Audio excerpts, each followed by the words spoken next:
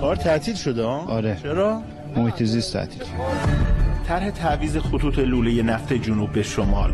طرحی که به واسطه رعایت نکردن ضوابط زیست محیطی حالا در میان کوه شهرستان پل دختر متوقف شده. بدون مجوز اقدام به تخریب منابع طبیعی قطع درخت از جمله درختان بلوط نموده. هزاران اصل درخت مثل این درخت بلوط قطع شده. و اگر آثار اینجا مشاهده نمیشه زیر هزاران خروار خاک دفنشون کرده یک انحراف دو کیلومتری در قلب جنگل های زاگرس متاسفانه به وجود آورده که باعث جنگل تراشی بست فرسایش خاک رو اونجا افزایش داده. برای طرحهای بزرگ حتما طرحها بایستی دارای ارزیابی اثرات زیست محیطی باشن. نه تنها ما بلکه هیچ دستگاهی مخالف توسعه نیست. اما واقعا توسعه به قیمت شخ زدن و نابودی محیط زیست فاقد هر گونه مجوز قانونی بودن. استعلامی هم از دفتر ارزیابی سازمان حفاظت محیط زیست به منظور حصول اطمینان بررسی ها صورت گرفت و پاسخ دفتر ارزیابی سازمان محیط زیست این بود که فاقد هر گونه مجوز هست این بحث خط انتقال نفت خام. اما پیگیری این رویداد قایب بزرگ هم داشت. منابع طبیعی لرستان. هیچ اداره بجز اداره محیط زیست هم در این خصوص پیگیری نداشتند. هفت پرونده در این از این نوع داریم که متأسفانه بیشتر این پرونده ها مربوط به وزارت نفت هستند. بر اساس برآوردی که همکاران ما داشتن صدها میلیارد تومان ما خسارت رو به منابع آب به منابع خاک به اکوسیستم به حیات وحشمون داشتیم. بر اساس قانون دستگاهی که در عرصه های طبیعی مبادرت به انجام طرحهای عمرانی می‌کنند برای احیا مجدد منابع طبیعی ملزم به جبران خسارت هستند. این در حالی که با وجود گذشت سالها از اتمام پروژه ها هنوز هم هستند دستگاههایی که حاضر به پرداخت خسارت نیستند. ادامه فرونشست زمین در جنوب شهرستان پیشوا به کانال اصلی آب روستایی رسید. خبر آوردن گفتن کانال فروکش کرده. اومدیم رسیدیم 40 سنگ آب داره میره پایین این ور داره آب میره تو 20 متر چاب فرو رفته این ورم داره میره این ساختمونا همه رو ورده پایین. مجبور شدیم آبون دادیم قطع کردن. 30 هکتار زمین جوگندم دارم. معطل آبم وقتم ندارم چه کار کنم؟ اما با این وضع چه راهکاری پیش روی کشاورزان است؟ یه دستوری بدن ما اقلا اینا رو قطره‌ای بتونیم بکاریم. یه وامی به ما بدن یه راهنمایی ما رو کنن یه لودر به ما بدن. ما این چالا گودالا که همه چال شده و فروکش کرده اینا رو ما هموار کنیم. فرماندار شهرستان پیشوا هم از آماده شدن مقدمات انتقال آب در آینده نزدیک از تهران خبر داد. مکاتباتی رو داریم انجام میدیم و پیگیری هایی رو هم انجام میدیم که انشالله بتوانیم مشکل مردم رو مکاتبات با کجا؟ مخاطبات هم با آب منطقه‌ای داره صورت می‌گیره هم با ستاد بحران داره صورت می‌گیره و خدمتتون عرض کنم و هم در رابطه با بحث به هر حال جهات کشاورزی همه اداراتی که در بحث کشاورزی زی مدخلان مکاتباتی داریم انجام میدیم. مهمترین مسئله برای کشاورزان جنوب شهرستان پیشوا ترمیم هرچه سریعتر این کانال هست چرا که 300 هکتار زمین پایین دست منتظر آب هستند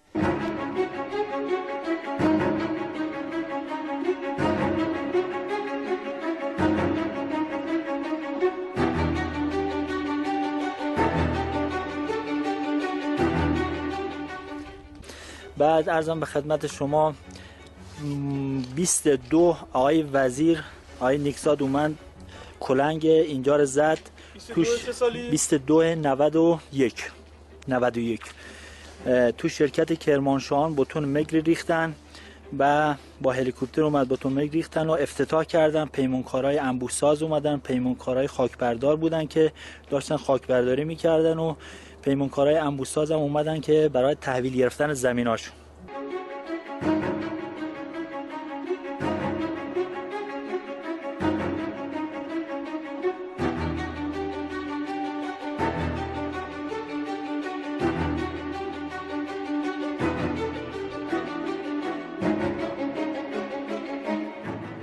ولی زمانی که واقعیتش دولت آقای روحانی اومد رو کار دیگه کار کلا خوابید.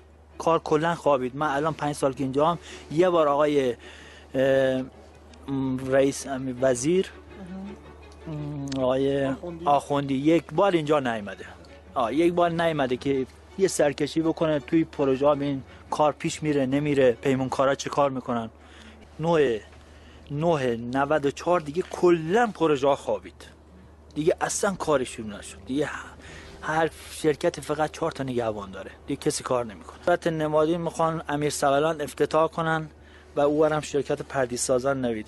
فقط اینجا یه مقدار نیرو داره. الان این شرکت تو ما روبرو من هزار واحد ده نفر نیرو نداره. این شرکت سنگ بنا خوابیده. این شرکت پولاد پادیر خوابیده.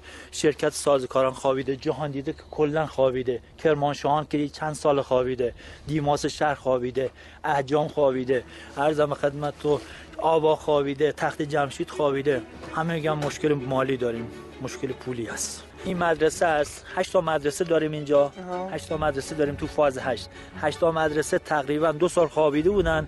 الان تازه ده 15 روز که استارت خوردن اومدن دارن شروع می‌کنن. اونایی که نزدیک این دو تاست که می‌خوان نمادین آره. افتتاح کنن. نمادین افتتاح. آره, آره. آره. بیشتر اینجا سگ است. و من واقعا واقعا بگم که اینجا 5 6 تا سگ دارم. دیگه چیزی هم گیرشون نمیاد. بکنم قبلا خوب بود. یه پول می اومد تو دست بالمون. یه نون چیزی براشون می‌گرفتیم. یه گوشت چیزی می‌گرفتیم. استخون اینا. الان دیگه همون هم نیست. رویه غلطی که با کمال تاسف امثال بابک زنجانی پایه گذاشتند و چندین برابر آنچه که بابک زنجانی خطا کرد در این دولت با کتمانکاری همون عملیات صورت گرفت. و با یک مصوبه که سال 92 گرفته بودند از در واقع تا سال آخر 94 هم این مصوبه ادامه داشت.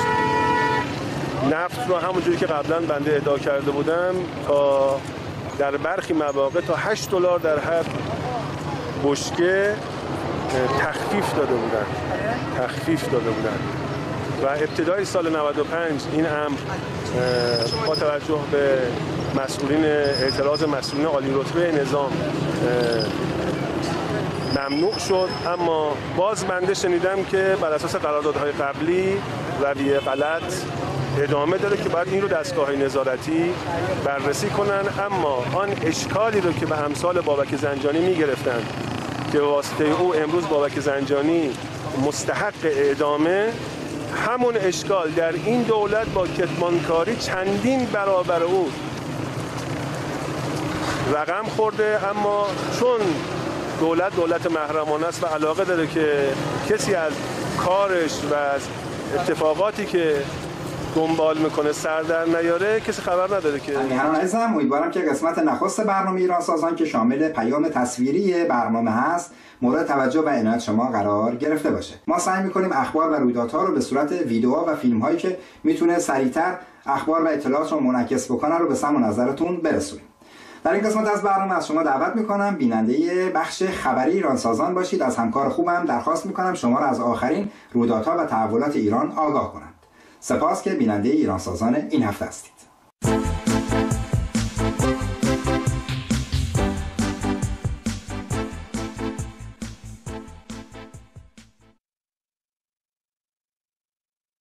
درود بر شما. مریم زرمر هستم. شما عزیزان رو به دیدن بخش خبری برنامه ایران سازان دعوت می کنم سلمان خدادادی در همایش ملی سیاستگذاری اجتماعی در حوزه خانواده گفت میانگین فاصله ازدواج تا طلاق از 5 تا 7 سال به 3 تا 5 سال کاهش یافته است. وی افزود تعداد زنان سرپرست خانوار از 1 میلیون و 664 هزار نفر در سال 85 به 2 میلیون و 553 هزار نفر در سال 90 افزایش یافته است و این رقم در سال 95 به مراتب بالاتر خواهد بود. لیلا بروجردی در همایش ملی سیاستگذاری اجتماعی در حوزه خانواده گفت 24 درصد خانواده های ایرانی هیچ گونه عضو شاغلی ندارند. معاون اجتماعی سازمان بهزیستی کشور گفت متاسفانه شناخت مناسبی از مفهوم خانواده در کشور نداریم و از میان 9000 کودک که در مراکز شبه خانواده ها نگهداری می شوند 87 درصد نامناسب سرپرستی می شوند. رئیس اداره آموزش و پرورش دسفول با تاکید بر اینکه حدود 50 درصد از مدارس دسفول فرسوده شده و نیاز به بازسازی دارند گفت قدمت برخی از این مدارس بیش از چهل سال می باشد. و همچنین از برخی معلمان دسفولی که روزانه حدود 50 کیلومتر جاده های صعب العبور را برای رسیدن به مناطق اشایری و شهرستان ها طی کنند تقدیر کرد. همچنین مدیر کل نوسازی توسعه و تجهیز مدارس خوزستان نیز تاکید کرد سی درصد از مدارس خوزستان نیازمند بازسازی مجدد می باشند سازمان عفو بین الملل با صدور بیانیه خواستار آزادی بدون قید و شرط آتنا دائمی شد. این سازمان در بیانیه دیگر خواستار اقدام فوری برای آزادی اسماعیل عبدی فعال سنفی معلمان و دبیر سابق کانون سنفی معلمان ایران شده است. رئیس سازمان حفاظت محیط زیست اعلام کرد از 14 تالاب استان فارس 12 تالاب آن خشک شده است. از سوی دیگر فرماندار بناب از خشک شدن تالاب قرقشلاق و تهدید منطقه و روستاهای اطراف آن خبر داد. نماینده شورای شهر تهران در کمیسیون ماده 7 در خصوص وضعیت قانون برج و باغ و تاثیر آن بر حفظ و یا تخریب باغات توضیحاتی را ارائه کرد. وی در این سخنان از عمدی بودن 150 مورد تخریب باغها در تهران طی سه سال اخیر خبر داد. برخی از خانواده های هواداران محمد علی تاهری زندانی سیاسی تحت عنوان کمپین کوچ به زندان به زندان اوین مراجعه کردند و تعدادی از آنان بازداشت و به مکانی نامعلوم منتقل شدند. همچنین مرتزا مرادپور در هشتمین هفته از اعتصاب غذای اعتراضی فرزند خود در مقابل دادگستری تبریز اقدام به تحسن کرد. نیروی انتظامی در اقدامی تحقیرآمیز افراد متهم را در معابر عمومی در معرض دید قرار می دهد علیرغم اینکه نقض کرامت انسانی شهروندان اعم از متهم و یا محکوم مقایر اصول انسانی است این عمل بار دیگر در منطقه مهر مادر مشهد انجام شد. پروین محمدی وسیق گذار جعفر عظیمزاده برگ اختاریه‌ای دریافت کرد. در این اختاریه از پروین محمدی خواسته شده است تا ظرف مدت یک ماه جعفر عظیمزاده را به زندان معرفی کند. در غیر این صورت نسبت به ضبط وسیقه برابر مقررات اقدام خواهد شد.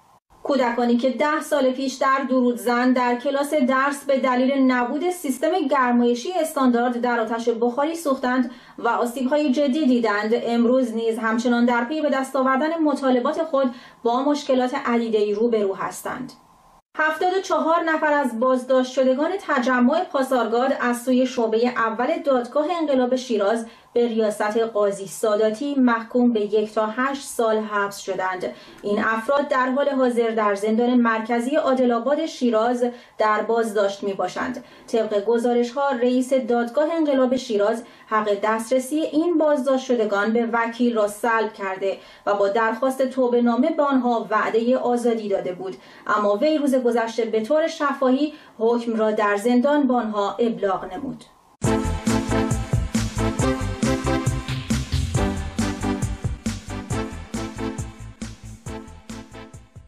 همیهنان عزیزم سپاسگزارم که بیننده ایرانسازان هستید و ما رو همراهی می‌کنید. همچنین تشکر می‌کنم از همکارانم در بخش خبر ایرانسازان.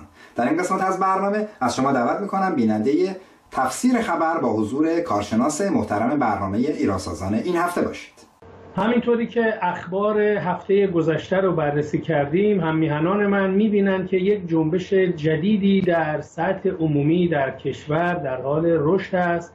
و این حرکت کوچ به زندان یاران آقای تاهری است که وارد دومین هفته خودش شد و ده ها نفر از یاران ایشون از تهران از سراسر ایران برای حمایت از آقای تاهری و برای درخواست مشخص آزادی ایشون و دیدار ایشون با خانواده و با یارانش این اعتراض بزرگ سراسری کلید زده شد و افرادی که در این اعتراض حضور دارند دلاورانه میآیند مصاحبه ای می‌کنند یک فیلمی از خودشون باقی می‌گذارند نامشون رو می نویسند با اعضای خانواده خداحافظی می‌کنند و شجاعانه به جلوی زندان اوین می‌روند تا برای پیوستن به آقای تاهری این استاد با ارزشی که تونسته این همه انسان رو دور هم گرد بیاوره و تشکیلات ایجاد کنه و این انسانهایی که تا چندی پیش رنج میکشیدن امروز تبدیل به سمبولی از از خودگذشتگی و آزادی خواهی شدن. چرا که نه فقط خواهان آزادی آقای تاهری بلکه خواهان آزادی همه زندانیان سیاسی و بیگناه شدند همچنین خواهان رعایت حقوق بشر و دقیقا جنبش یاران تاهری الان در کنار جنبش همبستگی ستمدیدگان دادخواه ایران قرار می‌گیره. چرا که کسانی که در بین یاران آقای تاهری هزاران نفر در سراسر ایران هستند خودشون از بدنه جامعه هستند یا کارگرن یا کارمندن یا کاسب خورده پای هستند یا دانشجو هستند یا جزو جوانان بیکار یا زنان سرپرست خانوار و یا زنان خانداری هستند که به آگاهی و به آزادی رسیدن که بایستی دور هم جمع بشن تنها نمونن.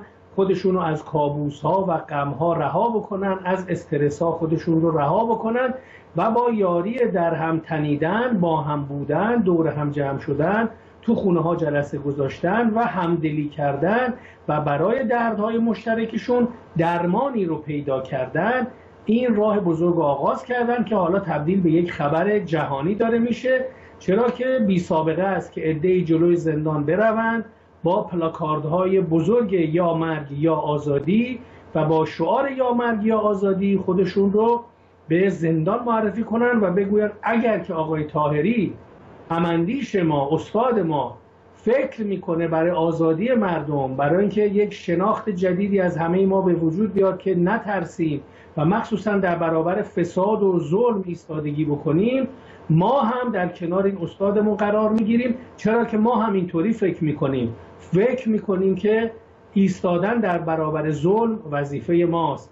ایستادن در برابر ستمکاران وظیفه ما ستمدیدگان دادخواه است که در سراسر ایران این ستمدیدگان دادخواه از بین معلمان، کارگران، خبرنگاران، هنرمندان و قرشهای مختلف مخصوصا دانشجویان جوان جوانانی که آینده باید مشتشون بگیرن و یک جامعه عادلانه و با انصاف زندگی کنن که این همه بیکاری و فقر و بدبختی و ناامیدی و گرفتاری نداشته باشن.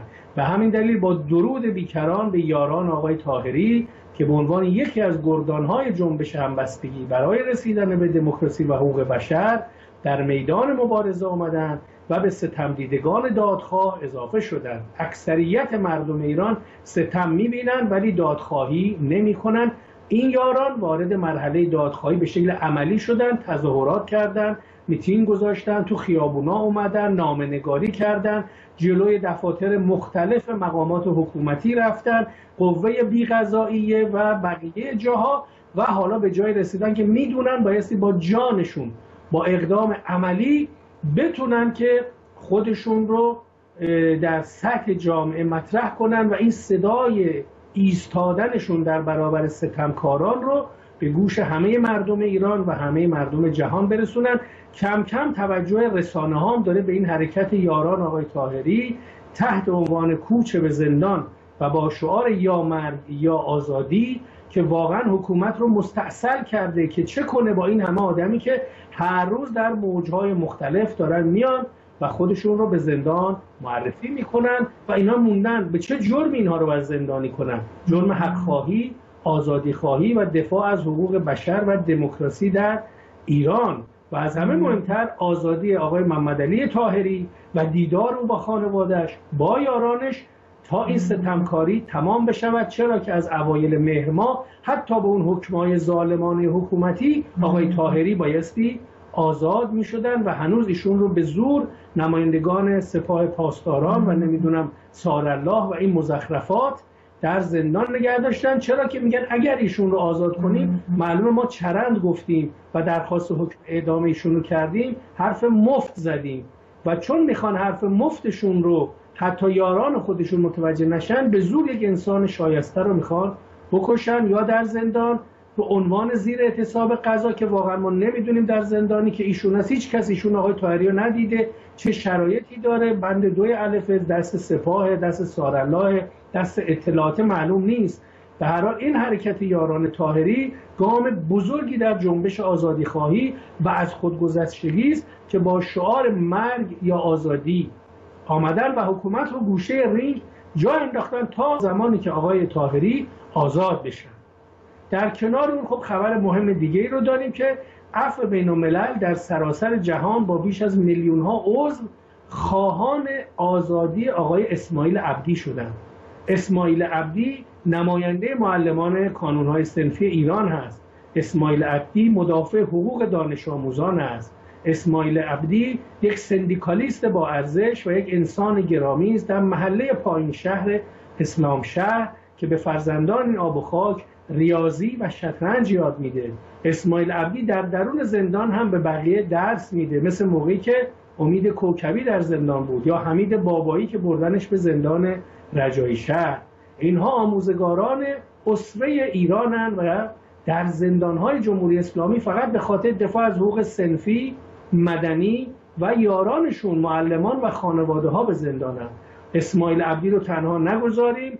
برای حمایت از او همونطوری که از سراسر جهان عفو بین الملل برای آزادی ایشون داره اقدام می‌کنه نامنگاری می‌کنه به حکومت فشار میاره ما مردم ایران ما معلم های با غیرت ما کسانی که وظیفمون از یاران خودمون دفاع کنیم برای آزادی اسماعیل عبدی و همچنین یاران دیگر از معلمان زندانی مثل خانم کمال آبادی یا آقای آگوشی معلم بازنشسته یا ارژنگ داوودی که در زندان زابل ایشون رو به تبعید بردن و یک معلم برجسته هستند بایستی که هم صدا بشیم حرکت بکنیم تا این یاران رو از ما نجات بدیم علاوه بر این اتفاقات مهم اتحادیه کشتیرانی استرالیا طی نامه اعتراضی به دبیرکل سازمان جهانی کار خواهان جلوگیری از سرکوب فعالیت های سنفی و سندیکایی و کارگری در ایران شد و همچنین خواهان آزادی همه کارگران زندانی معلمان زندانی و مزدبگیران زندانی شدند کم کم توجه می‌بینیم گروه های بزرگ جهانی کارگری داره به مسائل ایران جلب میشه در کنار گروه های حقوق بشری بزرگ و امیدواریم که تحریم بزرگ بین المللی از سوی کارگران جهان اتحادی های بین المللی کارگری هم در کنار تحریم های دولتی وارد تحریم های تحت فشار قرار دادن این حکومت ضد کارگر ضد مردم ضد بشر قرار بگیره تا مجبور به آزادی نماینده معلم ها کارگرها و همه مزدگیران ایران بشوند.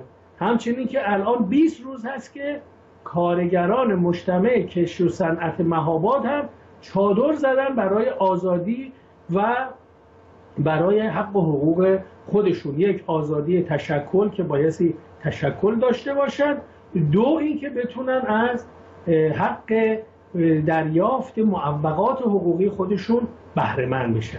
یعنی الان جنبش های کارگری ایران مزبگیران ایران در بین رانندگان شرکت واحد کارگران مختلف بخش های صنعتی تولیدی و همچنین اینجور به اصطلاح کارگاه های پراکنده و دوردست هم در حال گسترش است. همچنین نمایندگان سندیکای کارگران شرکت واحد موفق شدند در جلوی ساختمون شورای شهر بعد از نامه‌ای که دادن برای رسیدگی به مسئله درخواست مسئله مسکن و تعاونی های مسکن شرکت واحد در کنار پیمان سنندجی مازیار حسینی معاون حمل و نقل شهرداری رو هم اونجا تونستن به قول خودش راننده خفت بکنن و نامه هایی رو که به شورای شهر دادن کپیاشون هم به اینا بدن و درخواست رسیدگی به آماده کردن و تحویل دادن تعاونی خونه های تحت نظر تعاونی مسکن شدن که پیمان سنندجی که اصلا مشخص نکرده گفته خودتون بیانی تعاونی مسکن رو تحویل بگیریم. نماینده های کارگران گفتن باشه ما تحویل می‌گیریم. اما اون تحصیلات مسکنی که شما از شهرداری گرفتی اون 75 میلیارد تومن پول زمین هایی که به جیب زدین شما مدیران شرکت و دزدان شورای اسلامی علی مهدوی خواه و اکبر ایوزی و بقیه یارانشون اون چی میشه؟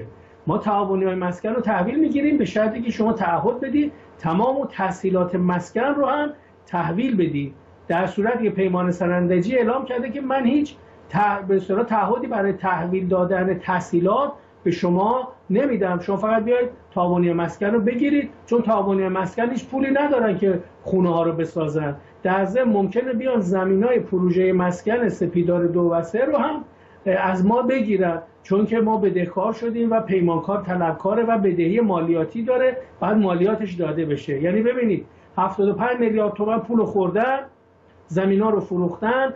از مردم از کارگرا از به اصطلاح اعضای تعاونی مسکن میلیون ها میلیون از هر یه نفر پول گرفتن. حالا خیلی راحت دارن میان میگن که ما به صلاح بدهی مالیاتی داریم و این زمین ها ممکنه بین بره. شما همینجوری مفت و مجانی یعنی بدون تحصیلات اینها رو بگیرید و هزینه ها و مالیات و همه چی یعنی گردن خود کارگرا بخوابه. بعد از این ده سالی که این پول ها در اختیار اینها بوده و متاسفانه کاری نکردن. به همین دلیل هم سندیکای شرکت واحد اعلام کرده که یاران به سندیکای خودشون بپیوندن حق عضویت بدن سندیکا رو تقویت کنن در تعاونی های مسکن مجامع عمومی با قدرت حضور پیدا کنن. و جالب اینجاست که مازیار حسینی که خودش در تمام این جریان نقش داشته به عنوان معاون حمل و نقل و در کنار سنندجی بوده در این بخورها و ببرها اونجا هیچ اظهار نظری نکرده و عملا خودش رو به عنوان نماینده شهردار از زیر بار این همه خسارت هایی که به خاطر تأخیر ساختمان و پروژه های ساز بوده کشیده کنار و اینها بیمسئولیتی این مدیران و دزدی و غارتگریشون بوده که در رابطه با تأخیر ساخت پروژه به کارگران وارد کرده و حالا که هزینه ساخت که چند برابر شده است نمیپذیرند که تعهداتی که قبلا دادن امضا کردن که هزینه های ساخت پروژه رو باید بپردازن عمل کنن. به هر حال سندیکای کارگران شرکت واحد به عنوان یک گردان مبارز کارگری در صف اول این مبارزه این راه و این حق طلبی رو ادامه خواهد داد و امیدواریم که حرکت های اعتراضی کارگران شرکت واحد و دیگر معلم ها و اعتراضیون در هم پیوند بخوره و ما شاهد حق خواهی بیشتر و به نتیجه رسیدن این حق طلبی ها در جامعه خودمون بشیم. چرا که می‌بینیم همین الان توی خبرهای فشرده که من سعی می‌کنم به شکل تحلیلی براتون بگم این همه جنبش و این همه اعتراض داریم که بایستی هزاران نفر دیگه میلیون ها ایرانی هر کسی که هر جای کار می‌کنه برای حق خودش سندیکا، شورا، اتحادیه، انجمن سنفی مستقل بدون دخالت حکومت بدون دخالت کارفرما و حراست و اطلاعات بسازیم تا بتونیم کشورمون رو از این شرایط ورشکسته به دست خودمون نجات بدیم و این قارتگرها رو از مسند قدرت به تدریج برکنار بکنیم. امروز فکر می‌کنم وقت ما دیگه بیش از اندازه هم گذشت. با تشکر از یاران فنیمون به خصوص افشین عبداللهی گرامی خانم مریم زهمر عزیز که خبرها رو تنظیم می‌کنن. قدردانی از اتاق فرمان در تلویزیون تا روزهای آینده با مبارزات بیشتر با آگاهی بیشتر شما رو به انسانیت و به وجدان خودتون می سپارم بدرود تا هفته بعد. میهنان عزیزم سپاسگزارم که بیننده برنامه ایرانسازان هستید و در فضای مجازی برنامه رو دنبال می‌کنید و از پیام هایی که برای ما می‌گذارید و ما رو مورد لطف عنایت خودتون قرار می‌دید و راهکارهای جدید رو به ما نشون می‌دید. بسیار بسیار سپاسگزاریم. امیدوارم ما هم بتونیم در شأن شما برنامه بهتری رو تهیه و تقدیم حضورتون کنیم. در انتهای برنامه از شما دعوت می‌کنم چنانچه مایل باشید از آخرین اخبار و رویدادهای کشورمون مطلع بشید. به سایت خبرگر مراجعه کنید. انقدر خوب عزیزی که به هنگام ودا هی فمایت که تو را دست خدا بسپارم. بدرود تا درودی دیگر.